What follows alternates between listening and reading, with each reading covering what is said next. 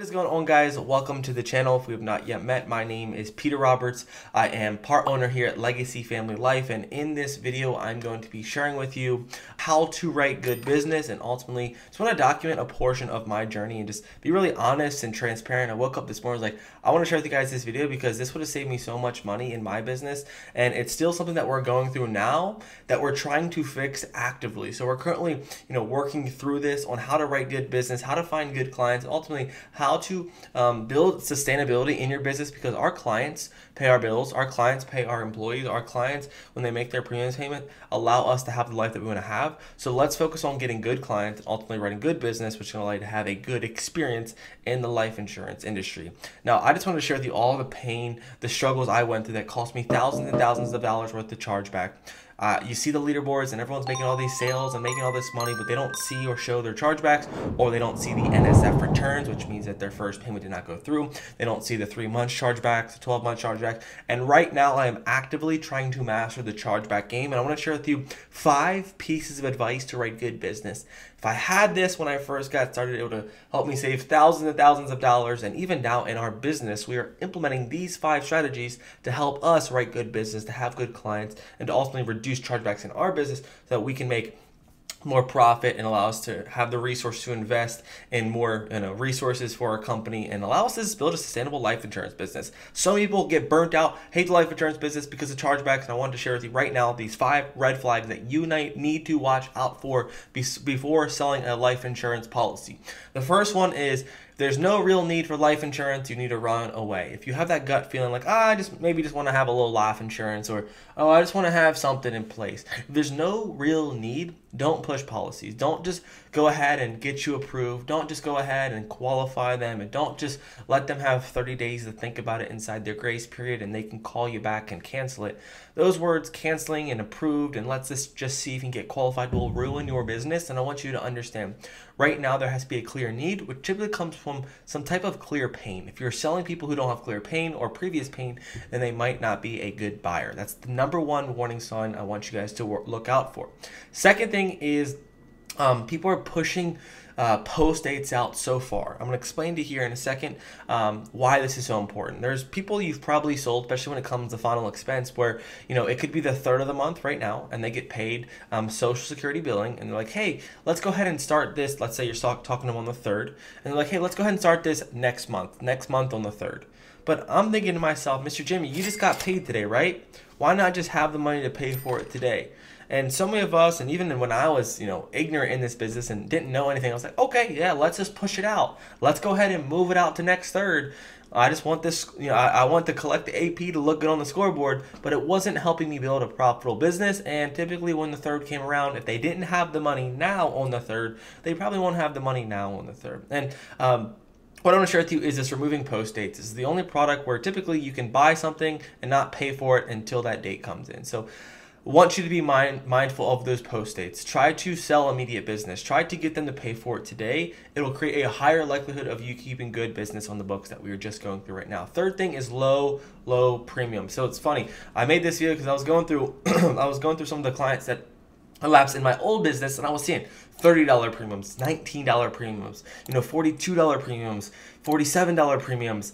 Uh, but the people on like the 80, 90, 100, 120 we're still in the books. And uh, the third thing or warning sign you want to look out for is low premiums. Anything under $50, $60, you should probably avoid. Now, you're going to find some great people who are in that range, but 99 majority of what I've seen, the data that we have concluded is that these low premiums create low quality people. If they can't afford $30 now, mid month, how are they going to keep their life insurance? Later down the road when a bill comes up when their tires need changed or when their granddaughter has a birthday present? Are they going to pick the life insurance for $30 or are they going to buy their granddaughter that $30, you know, little birthday dress?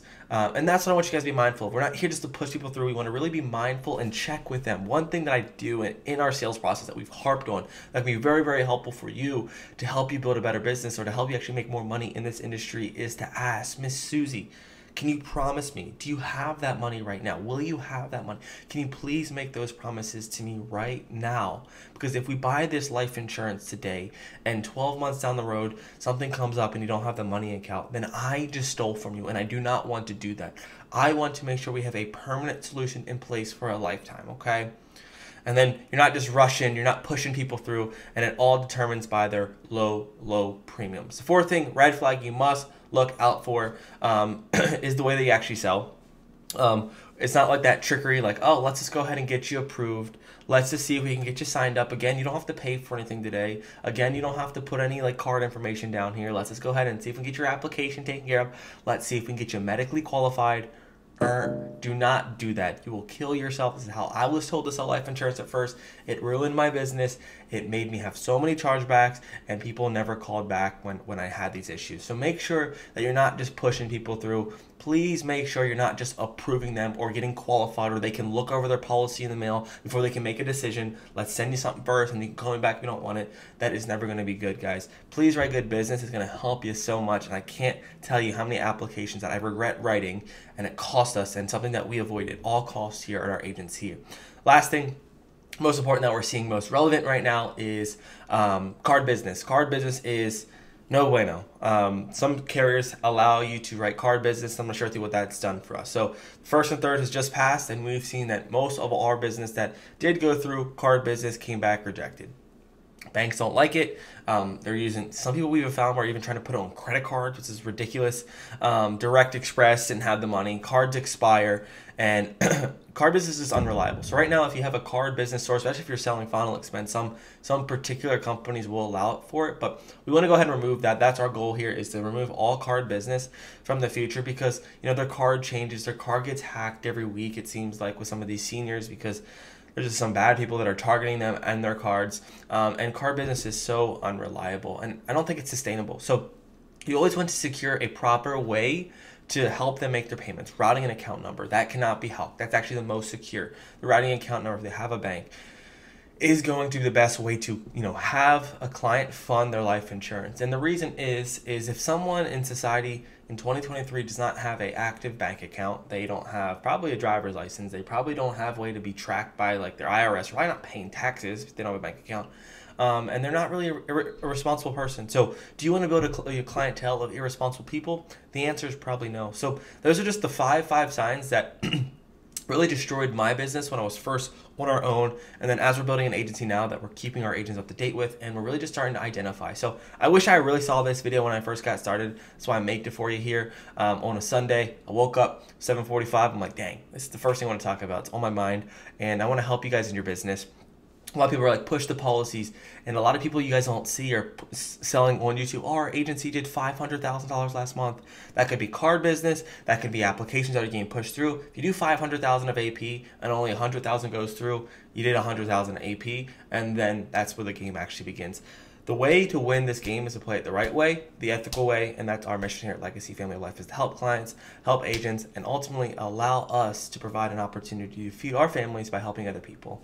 And the five chargeback ways for good business can help you get to where you want to be and has helped us grow our agency uh, pretty rapidly. I love you guys. Hope this video helped you. Just want to provide value to help you on your life insurance business. If you need anything, reach out. Take care. Cheers. Bye.